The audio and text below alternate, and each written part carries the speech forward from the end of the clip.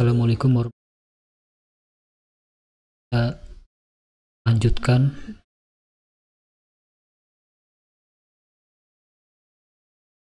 Bagaimana melakukan verifikasi? Di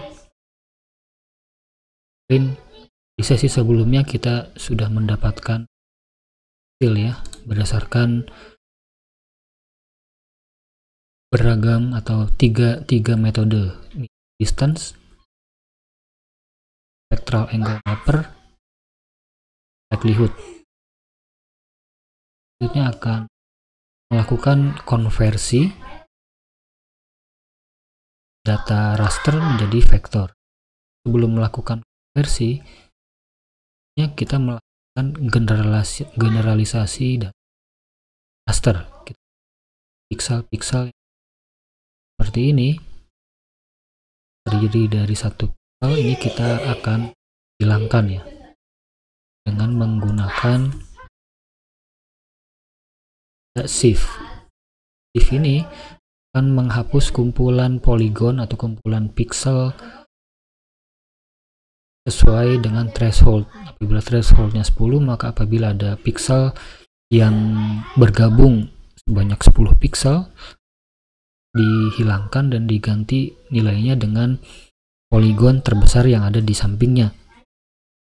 Kita kita tes dulu ya kita lihat dulu apabila kita gunakan threshold 10 maka hasilnya seperti apa.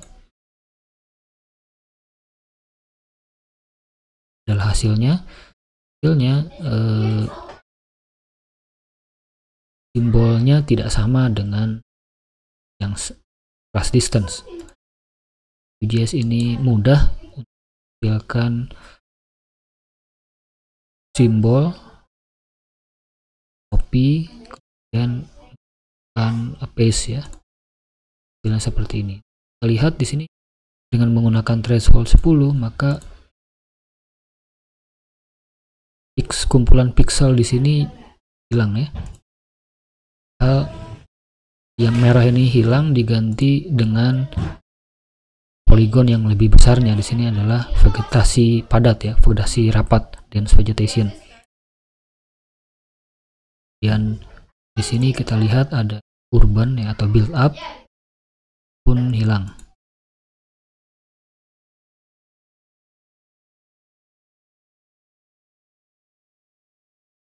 Kita hapus dulu. Lakukan kembali shift ini distance dengan voltnya 3 lihat seperti ini.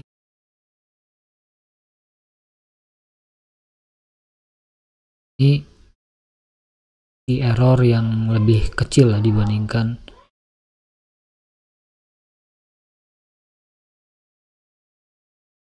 sebelumnya. Kita anggap ini uh, hasilnya benar lah. Nah selanjutnya kita akan melakukan konversi raster menjadi vektor.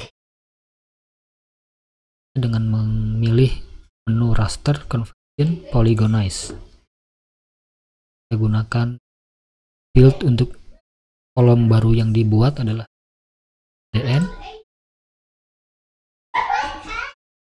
Ini adalah outputnya.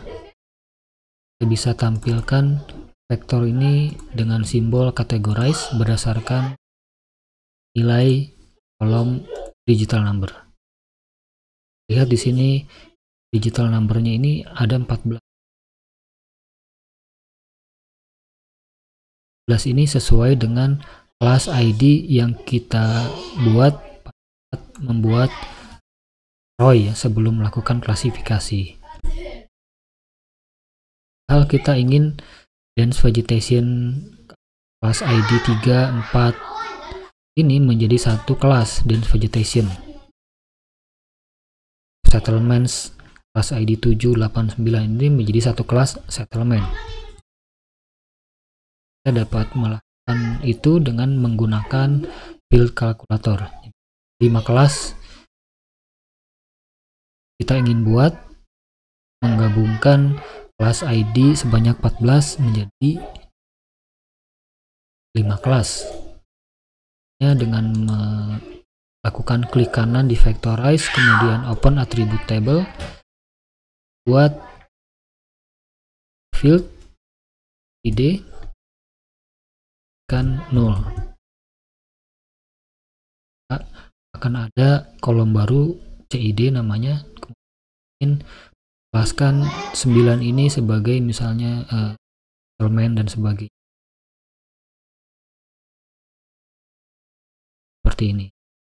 Apabila uh, DN-nya satu atau dua maka isi nilai kolom CID dengan angka satu selanjutnya. Copy ya. Formulanya kemudian kita klik lagi open field calculator. Sebelumnya kita membuat field baru. Nah sekarang kita akan melakukan update. Kita pilih CID kita paste rumus yang sudah kita definisikan. Kita klik OK kita akan lihat di sini DN itu adalah 4 settlement 7 juga settlement juga dan selanjutnya. Jangan lupa untuk menyimpan field kemudian klikkan editing. Kita tampilkan lagi kategori sesuai simbol CID kita classify. Yes. Ya ini adalah eh, 5 kelas kita lihat di sini ada poligon air ya. Tapi di sini ada garisnya. Kita ingin hilangkan ini dengan menggunakan fungsi dissolve. Di QGIS kita klik vector geoprocessing tools kemudian klik dissolve. Vectorize kemudian kita uh, klik run kita lihat di sini ada uh, kesalahan topologi. Data yang kita hasilkan dari konversi raster menjadi vektor memiliki kesalahan topologi. Ini umum terjadi uh, ketika kita melakukan proses konversi dari raster ke vektor. Ada banyak eh, analisis yang membutuhkan topologi yang valid. Karena itu kita harus melakukan koreksi kesalahan topologi ini. Caranya bagaimana? Kita akan ikuti di sesi berikutnya. Terima kasih.